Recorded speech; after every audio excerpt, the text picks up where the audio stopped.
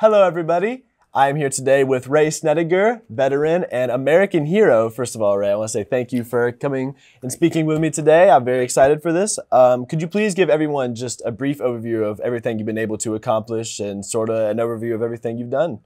Okay, in my adult life, I joined the Air Force at 18. Mhm. Uh, after training, basic training, I went to. I was a put into security service as a radio intercept operator.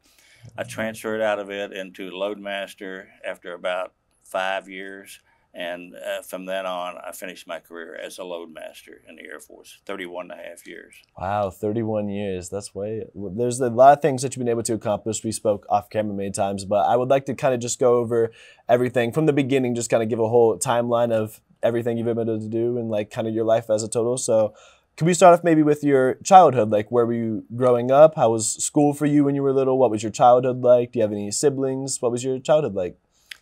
Uh, I was born in Grain City, Kentucky, which is more more than a stop in the road, actually. Um, I went to uh, moved to Hillsboro, Ohio when I was Mhm. about two. Lived in Hillsboro till I was about five, and then we moved back to Grain City. Mhm. And then I went went to all my grade schools. I went to three or four different grade schools. My father was a tenant farmer, so we kind of moved around farm to farm. Mhm. And uh, graduated from high school at Mays Lick High School, and that's when I joined joined the Air Force. And uh, from then on, I've done amazing, been able to do and been afforded the opportunity to do amazing things in the Air Force. And I've been involved in a lot of Yeah. fantastic projects and things. And some I volunteered for, some I got volunteered for. Yeah. So, when in high school, was high school when you first decided that you wanted to join the military? Yes, uh, I was going to join the Marines at, before I graduated from high school, and my mother wouldn't sign the papers. So Oh, I had to wait till I graduated. Then Okay. I couldn't get in the Marines, so I went in the Air Force, which was a lucky move on my part. Okay. Uh, I lived a lot better than they do in the Marines. But Wow. anyway, I I decided then that's what I wanted to do. I wanted to get off the farm.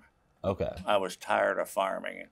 I tell the story all the time. I went to Vietnam on my senior trip just to get out of farming. So Wow. So that was kind of the main like motivation and like wanting to certainly. get out of that. What did your parents do for a living? What? what? Uh, farmers. My mother Oh, worked. so- My okay. mother worked in tobacco warehouses part time, and back in those days. And my dad was a tenant farmer. Worked for a dollar a day. We lived on a dollar a day a dollar a day. in the That's forties crazy. and wow. World War II. Wow. Were they supportive of your decision to want to join the Marines Oh, and yes. eventually joining the military? They were very proud of me after, after they didn't That's have to sign the papers. Right. so you get out of high school and you join the military. What was that experience like? Like first starting off, like what were some of the challenges you had to go through? Uh, what was was it a good first experience? Like what were some things you remember about like first starting off and like your first couple years in the military? Well, the first day I got there, I thought I'd made a mistake. The guys yelling at me. Uh, the next morning when I woke up at five o'clock, when they were beating on a trash can, if my mother had come in that barracks and got me and took me home, I would not have been embarrassed. I wanted out oh wow. So that's that was my bad experience to start off. Turned out it taught me discipline. Mhm. You know, there's all kinds of things you learn. uh, Structure, yeah. and uh, it was the And- best thing ever yeah. happened to me. It- Yeah, now you're probably happy that you sticked with and it. I loved yeah. it. I I was going to be a highway patrolman after four years, and I had to go to. Ca- I was in Kansas. I had to go to California to join up, and I had to be out 30 days, and I had a six month old baby and wife, and I can't do that. So I re-enlisted Wow. For $847 to stay four more years, which was a lot of money then. Wow. And then I became a loadmaster out of that, and the rest is history. I, Mhm. Best job in the military Wow. by far. When did you first start working with the security service? I know you touched on that a little bit. Uh, 1959. I went to school in late 58, early 59. In April of 1959, I was Hmm. sent to Misawa, Japan as a radio intercept operator. Oh wow! And then after that, that's when you started. Become was it after you became a security service person that you started working and became a loadmaster? Yes, Like when that yes. start? When I rotated back to the States, uh, Mhm. I found out I couldn't stay in security service in Mhm. the city. Only overseas can you stay over there. Okay. So I decided to, to go ahead and take my assignment to Kansas. And then at the end of four years, as I was going to be a highway patrolman, that didn't work out. So Mhm. I wound up re- uh, re-enlisting and became a loadmaster at that time. Oh wow! And for someone that maybe was watching that didn't necessarily know what the details of being a loadmaster was, what like what was that like, and what was the job entail of being a loadmaster? the loadmaster is responsible for loading all the cargo on the airplanes, Okay. uh, directing the loading of it. Mhm. Uh, he uh, does the weight and balance, make sure everything is the airplane will fly. Mhm. Uh, and it'll fly throughout the flight. You have to load it so as, as the center of gravity changes in flight, you have to make sure it can still land. Uh, took care of any passengers we had on board, whether it be Army people or just civilian passengers. Wow. Um, that that's the extent of his job. And Okay. Most of the time, he's unless he has passengers, he is done working once the airplane is loaded until he gets Mhm. ready to offload it again. Mhm. So it's a good job. Yeah, that's awesome. So one of the things that I first became familiar with you with, and what a lot of people probably know you mainly for, was your involvement in Operation Babylift. Yes. But you have also told me you were involved in, you said three total plane crashes. Yes, in uh, 1963, I went to Vietnam for the first time as a Mhm. loadmaster, and uh, well, I was the only t- first time in Vietnam, and Mm-hmm. uh, I was flying C-47s over there, and I'd been there probably four or five months, and I'd been selected to go on a mail run from Okay. Bien Hoa down to Saigon, and uh, it was about a 15-minute flight. And we went out and uh, the flight mech that pre-flighted the airplane missed there was a satchel charge in the number one engine and he missed it and it was set to go off at, at a certain altitude. So i'm looking out that window when we took off and we reached about 450 500 feet in a left bank Mhm. and it blew the engine the prop the cowling and part of the engine off the Uh-huh. airplane part of it was coming through the airplane none of it hit me uh, we circled back around trying to land. Uh, he was going to land it in a field. As it turned out, he said, I can make the runway. He thought he could. Uh, but the uh, problem was that we'd landed in a field, it was mine, so we'd got blown up. We didn't know that. We And that got was around the- to the field, and the the fuselage made the runway, but the gear didn't. And that's when Mhm. we crashed on the runway, doing Wow. 360s down the runway.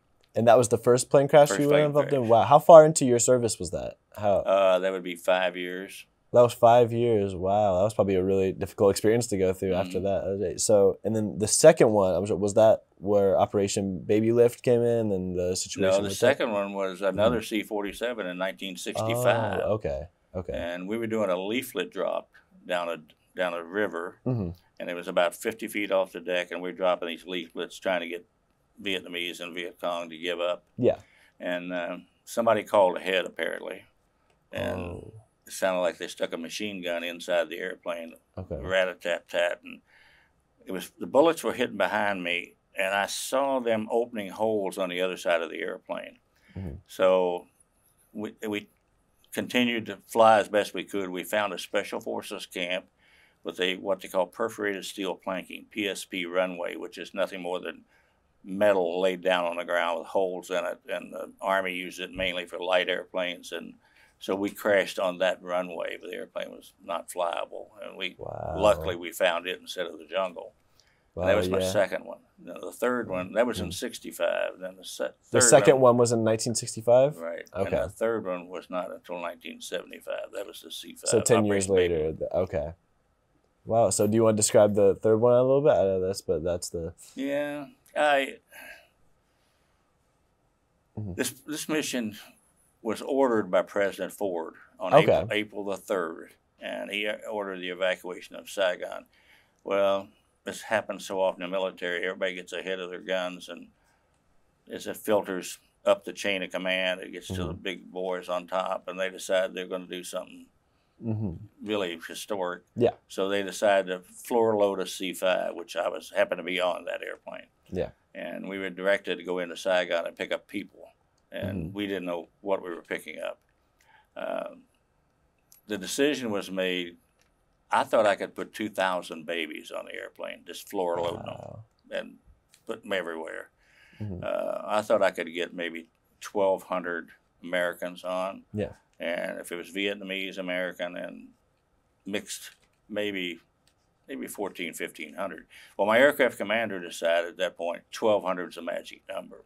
Okay. Well, fortunately, they didn't have 1,200 people ready. hmm We took off with only 310 people on board because Oh, we're trying to get off the ground. Okay. Attacking. Yeah. Um, 14 and a half minutes into the flight, the at 23,800 feet, the had a maintenance malfunction, and what we call a bell crank broke, and it released three locks on the right, on the right hand side of the airplane on the aft ramp. And anytime more than one lock is unlocked on the aft ramp, hmm something's going to give if you get enough pressure in the airplane. Yeah. So it went out, and if it just went straight out, we'd have been a routine circle back to Saigon. But it held seven locks on the left side, four on the right. So it held momentarily just for a microsecond and allowed the pressure door to slip down, then go back up before it fully released. And it cut the control cables and two of the four hydraulic lines. So we had basically no control of the airplane. Mhm. Pilots were flying it on ailerons and airspeed. That's all they had. Um, so at 23.8, I airplane went into a left spin, left dive to off falling off the left, and I happened to be upstairs. I went up to get a water jug, and I jumped. My oxygen mask came down, and it didn't work because they'd been not been inspected and they'd been sealed together.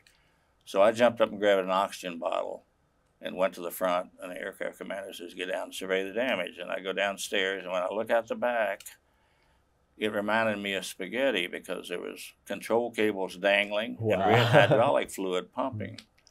And I go down there, and everybody's in a panic. And I go to the back of the airplane, and there's a video, there's a movie out on it, a documentary that shows me walking to the edge of the jagged ramp. That's Mhm. Hollywood Liberties. They, I didn't walk that far back on that ramp, but uh, I went back and surveyed the damage. I went back up and reported to the aircraft commander, and then I went back downstairs to help because I knew they needed help. We got on the ground, and uh, just before we crashed, I was told by another loadmaster, "We need to get upstairs. We get ready to crash land."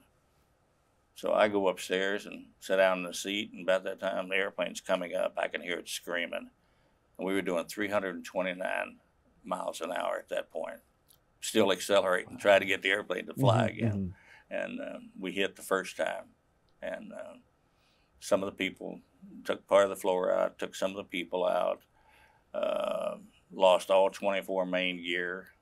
Uh, so we only had the nose gear still on the airplane, which didn't mean anything to us at that point. Uh, jumped the Saigon River, landed on the bank on the other side on four Viet Cong soldiers, and uh, the airplane came apart at that time. My life went into slow motion.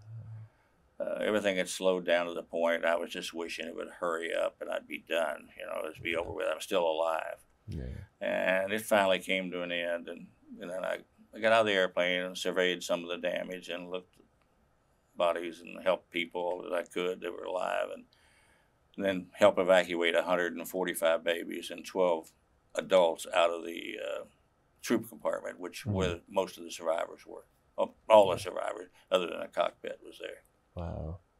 That's crazy. I couldn't even imagine going through something like that. How did that affect you after, like, kind of just dealing with everything? affected me bad for a long time. Uh, I drank way too much and tried to forget. I had uh, um, survivor's guilt because some of my good friends had gotten killed. One guy was on his last mission, uh, a good friend of mine, and I, I went through a lot with that for two or three years. And my wife hung in there with me and finally got out of it without going to counseling or anything. So I straightened up after that. I knew I had to. I had three kids, and but anyway, it, it, affected me quite a bit, and I think of it every day. Wow. Now, April the fourth just went by, and that's a tough day for me. That's the day of the crash, and hmm and these kids are calling me that I know. Mhm. You know, we're talking That were involved in the in the crash. Yeah, in the crash. Yeah. they're 'cause, you know they're forties Yeah. and fifties now. How were you able to keep in contact with them after? I met them through reunions. Okay. Uh, and then I met a few of them, and then I became friends with them on Facebook, and then other people would make connections. oh yeah, yeah. So I I know probably fifty of them, wow. and I keep in close contact with about twenty, okay. maybe twenty five. I talk to a couple of them every day. Mhm. How did that affect them growing up? Uh, From the conversations that you have with them, was that kind of hard for them to like? well, they grow up don't know with, what they don't know their birth date. They don't know how old they are. and they don't know their names. So Wow. Their names were taken out of a phone book hmm and written in into a piece of paper Wow. to get them out of the country. Mhm. Uh, the birthdays were made up. Doctors came in and said that one's six months old, that one's twelve months old, that one's three Yeah. years old, and so they don't know. They just given a birthday, so that affects them a lot. Mm-hmm. Some of them have told me that you know they're mixed race. Mhm. So growing up back in in the seventies and eighties, they they some of them had a difficult time at school Mhm. and some of them knew what they were, that where they'd come out of Vietnam and were Yeah. fathered by Americans, and so that was hectic for them. And the fact they don't know who they are and how old they are, that really That's bothers them. crazy. Yeah, that's. I- Stop I and think about that. I could imagine, yeah, not knowing. That's just, yeah, but that's unfortunate. So I'm glad that's. I, I, think it have one. Let me interrupt you on that. No, I have fine. one that I talk to every day. Her birthday is August the first. Mhm. She celebrates the entire month of August. She doesn't know what her Oh, birthday. It may not even be August. Mhm. That makes sense, just every because, day. yeah, yeah. Well, it's good. I think that's good that you're able to still keep in contact with them and Oh, kind of see it. how they were able to grow up. So I think that's I that's really great. As a Um, matter of fact, the same girl, I'll, let me put a little side story on of it. Of course. This same girl uh, just contacted me at Easter, hmm and she and I have flown on a C5 since then. We got a, we got a ride to go to Florida from Texas, and she remembers the exact seat she sat in. She remembers everything that happened. She can describe it all. And she contacted me at Easter, and she said, "I want to get back on a C5. I want to sit. I want to sit on an airplane that's not flying, sit in that seat, and I want to fully remember the entire story before I forget it." Wow. So I've, I've already arranged it. We're gonna we're gonna go to San Antonio in, in October, and we're gonna get that set up. Did she say how she was able to remember all of that since it was so like long ago? But Well, she was remembers- five, Oh, she was five years old at and she. Okay. wasn't supposed to be alive. I mean, I made a decision on who stayed downstairs, Mhm. and all of those got killed, and it was Oh. based on they could take care of themselves. Okay. I put babies upstairs in the seats, so we had medical crew to take care of. Somehow, She was still able to get up somehow. She got up there somehow. I don't know how. wow. And I met her in Dana Point, California, and she walks Mm-hmm. up and said, "I'm, I'm Carrie, and I'm Knockan is my name actually, and I'm, I was on the plane crash with you." And I said, "Okay," and, you know, I had my name tag on, and uh, then she said, "I was five years old," and I go, "Time out, no, it's not possible." And then she told me, she says, "I wound up up there," and she could describe the things that happened to me. Wow. She remembered a fire up there. And I said, Yeah, there was a flash fire. The oxygen lines exploded, caused a flash fire, and sent some hair on people's arms. And the thing about that was everybody denied to her she, there had been a fire. And Does she she, was so that? ecstatic that day that I confirmed that she because she she, had did remember remembered that it. fire. Yeah. Wow. I know now that you are able to kind of travel around everywhere. You even came to our school and kind of gave us a story about Operation Babylift Right. and how important it is to you. What makes it so important to you that you keep that story alive and to inform everybody on that? Like, what about it is so important to you that that like keeps that story like? Let's keep the kids. I Mhm. want to do it for the kids. I want to keep that story alive for them, and they do more on it than I do. They, they a lot of these kids speak all over the country, different things. Mhm. Um, so, but I want to keep that alive, and I'm I'm actually shocked that this is a big deal. On April the fourth of every year, every major news channel will have this story on. About the operation? Yeah, yeah. and yeah. you know, you think history happens and it goes away and everybody forgets about it. Mhm. This is still, and I think the kids talking about it, uh, Mhm. you know, keeping the story alive. They have reunions all over the place. Yeah. Um I, but I want this story to never be forgotten.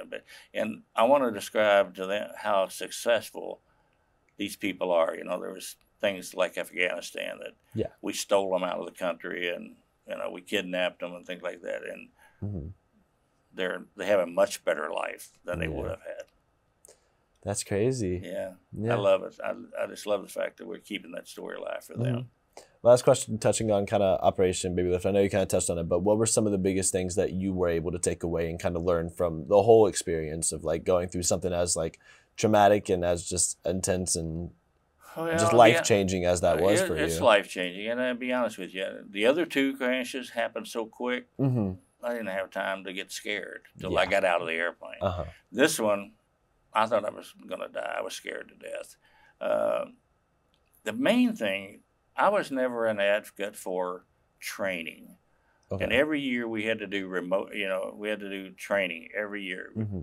and uh, uh, recurrent training. And I would just fuss and complain. And I, I already know this. Why do I have to do it? Mm-hmm. Well, I learned from that. You better know it. There's not time to read a book Mm-hmm. you just react. And I, after that crash, I always put that in my stories when I'm talking to military. Do your training, listen to what they're saying, Yep. because you may have to use that one day. And when it comes time to do that, it's too late to learn the procedures. Yep. You just react. Yeah. And if you know what to do, you do it. And that's that's my big thing from that, um, and the joy of saving some people's lives. Now, kind of getting kind of sidetracked because a lot of people may just know you from the operation, but you've been able to accomplish a lot more even past that point, and just like a lot of things you've been able to accomplish. One thing I thought was interesting: you work with the European Space Agency, and Yes. actually work with that. Do you want to describe that a little bit? Because I found Mm. that really interesting. What was Yeah, that I- like? uh, I got selected on that to to actually I worked at Wright Patterson then. I was in the air t- transportability tense loading area. Mhm. So what I did was figure out, engineer it out, and say that'll fit in if we take the wheels off, or we take the wings off, or whatever. And I descri- did all that. Well, I worked that project for the European Space Agency for uh, Spacelab when they put Mhm. it up in space. And uh, I got to go to Germany and work on that. I was in the factory, and, and that was really interesting. Uh, young people that were part of that was just blew my mind. You know, you Mhm. think of professors as old, old people that do that kind of stuff. yeah. These were young people, and especially s- the Spacelab was successful. So, Mhm. and I got to go to the Cape and stand the, with the news media Oh wow. to watch it launch. That's the only launch I've ever seen. That's amazing. Went off on time, believe it. that's amazing. So that's probably a really cool experience. For oh, you. I loved something it. I loved it, and they were over here working, so I, keep in touch with some of those engineers still. Wow. Uh, another mission I wanted to kind of touch on a little bit that I've heard you about the uh, DSRV mission. Would you be able to maybe touch on that a little bit and like what that was Yeah, like the? DSRV stands for Deep Submergence Rescue Vehicle. And I worked on that for a long time, trying to figure out how to fit it in the airplane, et cetera. Mm-hmm. And uh, it was used, the, I was told it was being used to rescue submarines who have sunk. And it was the idea came up to them when you, you probably don't remember this, but the USS Thresher went down and it Mhm. killed everybody on it. They never could rescue them. So they come up with this idea. I have actually transported it to two or three different places where a submarine had gone down. hmm They didn't, even- they didn't even put it in the water. I mean, it, they just figured out it was too late, and I guess it would only go to certain uh, certain depth. Now, there's Mhm. rumors out there that it was used for other things, but I've done some research on it, and of course, the government's denying it. But I don't know, so I, I, I won't even talk about that. That's okay. That's okay. Of course. Um, another mission I wanted to touch on that you kind of touched about, uh, like it was just kind of a crazy story. Once I heard it for the first time, the mission that you did from China to New York and that whole mission that you had to do with that. Would you want to talk about that? Or? Yeah, yeah, that's not a problem. Okay. I did that not too long before I got out of the military, and uh, Mhm. I got selected to go on that mission. We were going to go pick up a what we know as a MiG 21. I forget what they called it. I, in fact, I was looking for the picture this morning, and I don't put anything out. I've everything buried somewhere, and hmm but I couldn't find the picture to find out what the actual name of it. But it was a MiG 21 in our eyes, but the Russians called it something else. And uh, they had it in China, and they had three of them. Mhm. And we went over there to pick them up. The interesting part of that story is we landed, and there was, well, we got diverted twice to Mhm. land for no reason so we could pay a landing fee.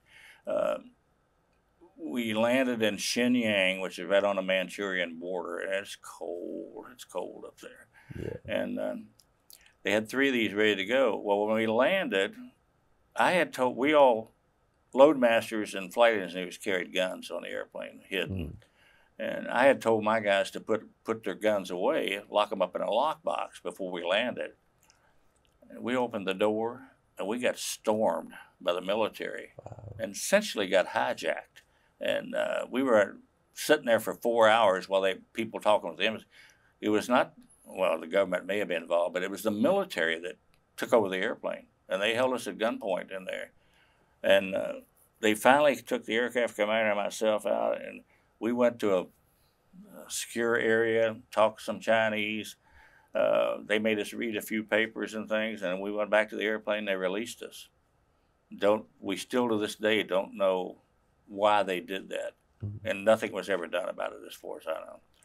Well, we spent four days there getting these airplanes ready to go, and um, and flew them from Shenyang, China, back to Beijing, then to Long Island, New York for some kind of refurbishment. Mm-hmm. Um, and that always struck me as strange in those days. You know, Russians and Chinese are our enemy. Mm-hmm. Now we're doing repair work for their airplane. Uh, I, I don't know what was behind all that. Yeah. But that was an interesting mission. And you said that was towards the end of your time yeah, that was, service? that was in probably, I can't remember the dates, 88, early 89, and okay. I, I got out then. And how, how many years were you in the service total? 31 years, 4 30. months, and 24 days. Wow. So I, had, I could went to 33, but I decided to get out. What made you decide to get out? What were kind of traveling too much? I was gone my entire okay. life flying, and um, I just had enough was it thing of kind of wanted to be with your family a little bit? Yeah. Did that kind of oh, yeah, they were growing up without me, like... and my kids are grown up. My wife had raised them, and I just want I was just tired of living out of a suitcase, so mm-hmm. I went ahead and retired.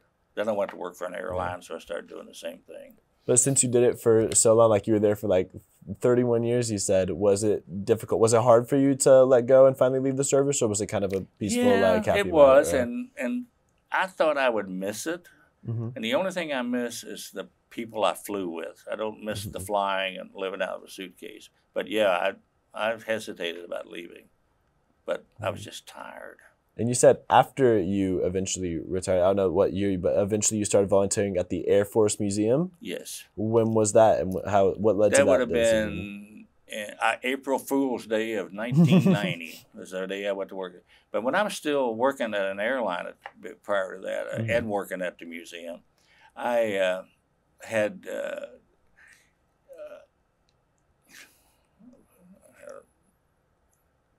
airline, airline, airline. I don't know what I'm just going to say here, guys. you already did know. You're fine. I was working at the airline, and I was. Oh, I had a friend about the funeral home. I had a friend that says, "Why don't you come and work with me part time?" I said, "What do you do?" He said, "I work at a funeral home." I go, I'll never work at a funeral home. No, I had all these preconceived ideas. So I, I, I didn't go to work for him. And then after I retired from the airline, he kept bugging me and saying, Why don't you come work for me at the funeral home? Well, by April, I retired one January. By April, I had decided I've had enough. I've had my coffee in the morning. I've had breakfast. I read the paper. What am I going to do? It's eight o'clock. So I decided to to, to take that, call him about it, and I got the job, and it, it was very fulfilling job. I wish I'd have took it sooner. I, I loved it. You know, I wasn't a funeral director and I couldn't embalm, but I helped them. Uh, it's just a loving, caring place if you're in the right funeral home. And I love that job. That's amazing. Yeah. And I know after this is also what you're still up to now. You were able to get in contact with, if you want to talk about Hal McCoy, you were able to start yeah. working with him and then became a chauffeur. What? How did that start? Um, well, I was working at the museum, uh, volunteering out there, and I was also traveling a lot. I was just traveling around the country. Some of it was for speeches, but some of it was just visiting friends. So uh, I uh, decided that when I came home off a trip on a Thursday, and I was on it was about ten thirty at night. I went in my uh, working office and I got on a, my computer and I started looking at, at some emails and things. And I thought, I'll just go over and check out Facebook. So I went on Facebook, and a friend of mine that worked at Teradata then, he had on there, I found the dream job, but I got to continue working to pad my 401k. And this was in 2013 and uh, February. And he, uh, he put a link up in the corner So I hit on that link, and it was Hal McCoy. Well, I read all of his articles. I didn't know him, never met him, and I was reading that, and it gave all the prerequisites, and you know, which wasn't anything, and uh, said if you want to do this job, just send me an email, Mhm. and I'll evaluate it.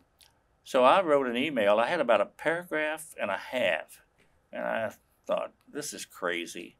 Uh, he doesn't know me. I don't know him. He probably has. This was Thursday. He put our ad in the paper on Sunday on Facebook. So I said he's probably got a thousand applications. So I deleted my email. I went in, got back on computer, and running around through things, and it's about one o'clock in the morning. I thought I can do that. And I'm tired by now, so I, I went over there. I wrote an email, but I really put four bullet points on it. I just put, I'm retired military aviator, and I can take you to each and every Reds home game. I'm a lifelong Reds fan, and I'm a chauffeur driver, so I'm used to carrying passengers. And since I retired from the military, I'm used to long days. Hope to hear from you. Four points. Mhm. And I thought he'll never call me. That was on uh, Friday morning, about one o'clock in the morning. And on Monday, I got a phone call that I missed.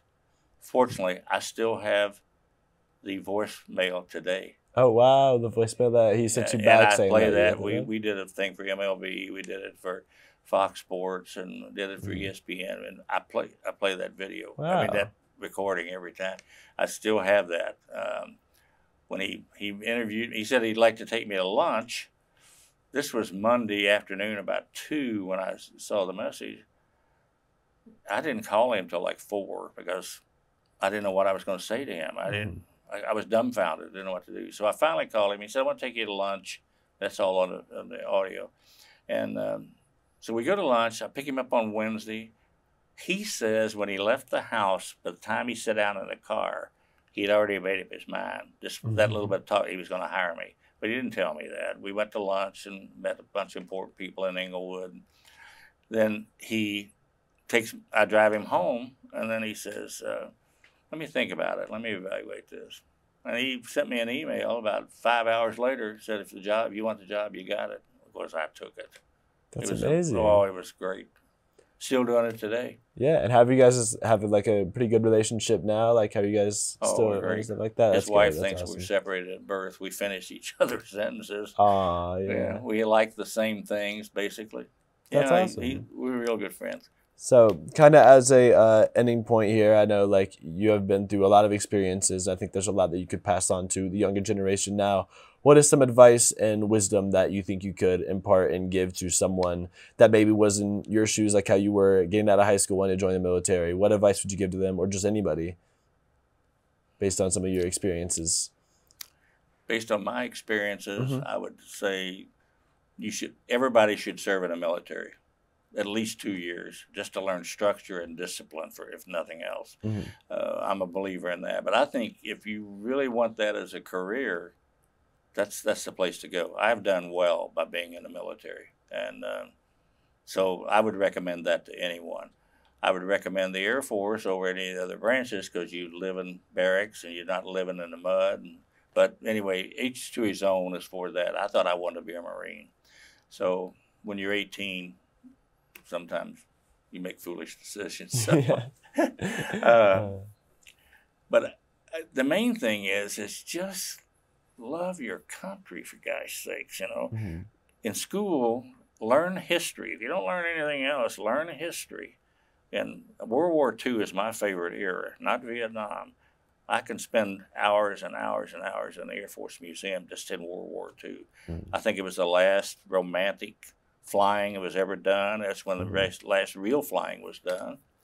Uh, just love it. But I'd recommend everyone go in the military Mhm. to learn how to live life, and secondly, to make a career because you can do well in the military. Now, there's other jobs you can get in the military that translate to civilian life. A loadmaster really doesn't. There's a few of us around, but they they don't. There's not. That's not a job you want to Mhm. get after you get out of the military. course. I want to say thank you so much for your time. This has been Ray Snedegar, American hero. Thank you for being with us today. Thank you. Yep.